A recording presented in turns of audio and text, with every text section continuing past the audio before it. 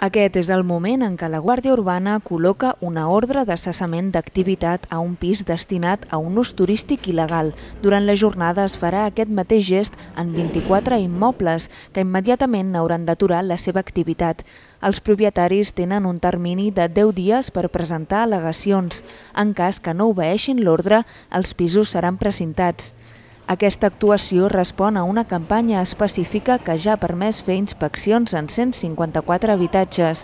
L'alcalde Xavier Trias, que es reunirà periòdicament amb els veïns, s'ha mostrat ferm a l'hora de lluitar contra els comportaments incívics d'alguns turistes. El turisme no pot eh, dificultar la convivència eh, d'un barri com la Barceloneta i es continuarà amb una línia dura en aquest aspecte i els legals o els il·legals en els que es produeixin repetidament accions incíviques, estic disposat a utilitzar totes les eines per tancar-los.